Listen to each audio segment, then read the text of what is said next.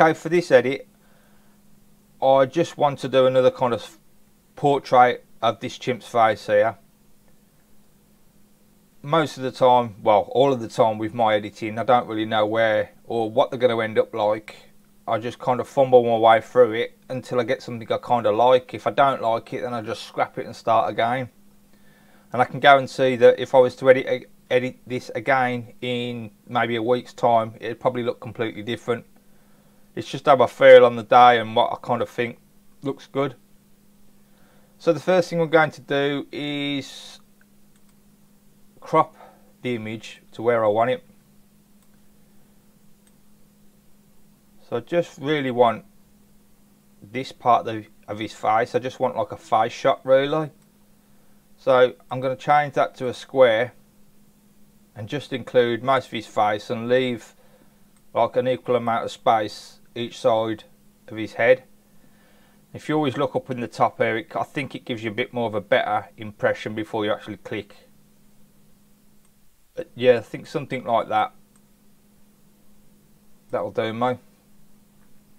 So if I go click back on the edit tool, that's already edited that.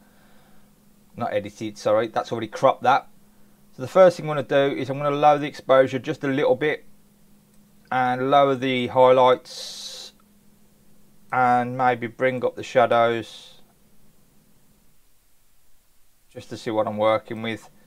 It's got a little bit of a blue tint which I don't like so I'm just going to warm it up a little bit more. And something like that. I can see a bit of a slight green tint here so I'm just going to drop the greens a little bit think that's about right. Um, first thing I'm going to do is I'm going to add a heavy vignette by going over to where all your presets are and it's at the very bottom. Add a heavy preset a heavy vignette sorry. Um, then I'm going to add my own vignette by using the masking tool and click on radial gradient. I'm going to pull down and create a circle roughly over the main part of his face somewhere there and then I'm going to click invert so it kind of it will only affect the red part and it will leave the middle out. Turn the show overlay off and I'm just going to slowly decrease the exposure around there.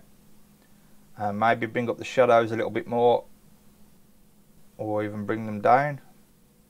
Yeah bring them down a little bit. And then going to click back on the three lines the edit tool and increase the contrast and maybe the whites a little bit and a little bit of clarity. Um, I might then bump up the saturation and the vibrance. Then I'm going to right click on that and edit in Photoshop. And the first thing I'm going to do is duplicate the layer and use the dodge tool, dodge brush, click on midtones and make sure the brush is about the same size as the monkey's eye and give that just one or two little clicks just to make his eyes pop a little bit more. Um, what I'll do then is I will duplicate the layer again and this time I'm going to just see what Photoshop thinks the tone should be. So if you go to image and go to auto tone, it's kind of made it a little bit blue, which I click off that and on it, you can see the difference. Now before I dismiss it and think no I don't like it, you can always turn the opacity down. So try turning the opacity down and then and then flicking back and forth it seems to be adding a little bit of blue to me Now, I don't know what it is with me, but I've got a problem with blues. I just, they never look right. I think that, that kind of looks okay. Okay, so my next step is I'm going to try and tidy up the background here. You can see some of the old bit of the monkey in the background. So what I'm going to do is I'm going to flatten that because I'm happy with that and then duplicate the layer again. I'm going to use the pen tool, the pen, the brush tool and I'm going to use press alt and click over the colour I want to sample and left click with the mouse.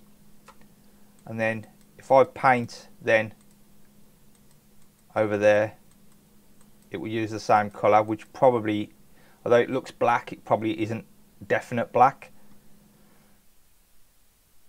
so I'm going to decrease the opacity and the flow and then just gradually paint this out. I don't want to use full opacity or full flow because it will just send it straight black and I don't want to do that. Just paint around the edges here.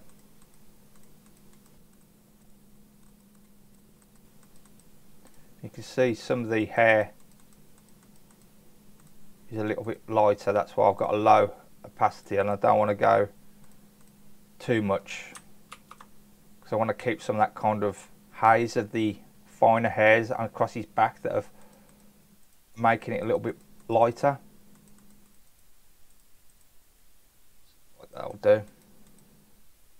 Um, now I want to just kind of round it off a little bit I think. So I'm going to keep that same colour and keep the brush the same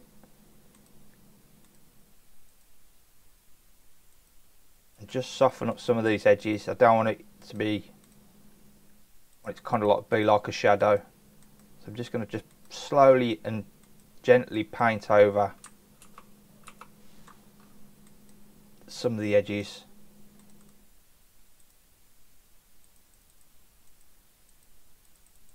Something like that.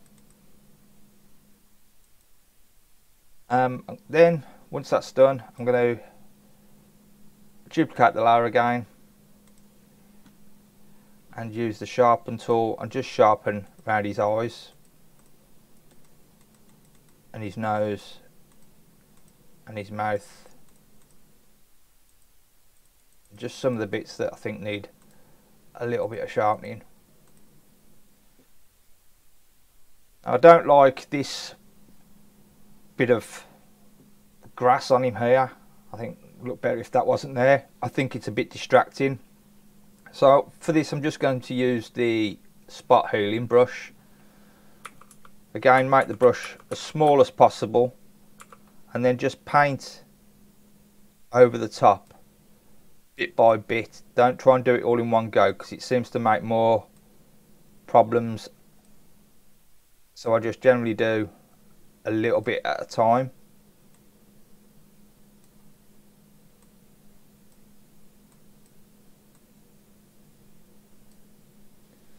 Got rid of that, which was a bit of a distraction. Um, and I think that's more or less it. What I'm going to do then is I'm going to save it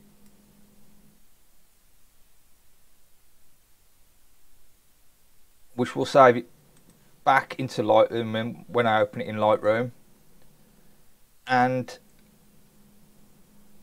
as it was taken at 6400 ISO it's not going to be the cleanest image. So I'm going to just run it through Topaz Denoise so if I right click and click Topaz Denoise editing Topaz Denoise that opens up and I can just run it through there. Um, I know not all of you have got Topaz Denoise um, if you haven't you can also use the texture tool to lower some of the texture and also use the low uh, noise reduction part of Lightroom here. I'm not going to use clear. I always use low light. I just find it works better. I think clear can sometimes make it too um, look too pixelated. So I always lower the enhanced sharpness because I've already done the sharpening what I want to do. and just click apply. That's kind of sharpened that up a little bit more. Sorry, not sharpened it up. Um, got rid of some of the noise. Um, one thing I do then is I try another heavy, try another vignette round it because sometimes it'll blend it in a little bit more, which looks better. No, I kind of like it the way it is. I think I don't think it needs another vignette on it. Um, and then the last thing, well, I have noticed one more thing I want to do. The last thing I normally do is I just run through the presets in Lightroom just to see if there's another preset that might make it pop a little bit more to what I've I've done it and it might give me like an idea of which way to push a colour um, but for this photo I'm just going to leave it as it is. I'm quite happy with the final product. So that's it. Um, I save it and it's all done. So thanks for watching. I hope I've um, explained a bit and uh, maybe give you a couple of ideas. As I've said I'm no expert. I just fumble my way through it until I finish with something I like. So thanks for watching. Um, until next time